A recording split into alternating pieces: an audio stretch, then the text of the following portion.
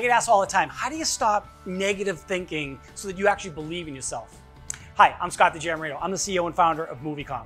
And for me, to stay positive on a consistent basis, it's, you have to have a lifeline. And what I mean by a lifeline is you have to have to surround yourself with people that are positive out there. So if you're having a bad day, find somebody else that you can call, text, email, where they can tell you good things about what you're doing on a consistent basis. Stay away from negative people because all negative people do is bring you down.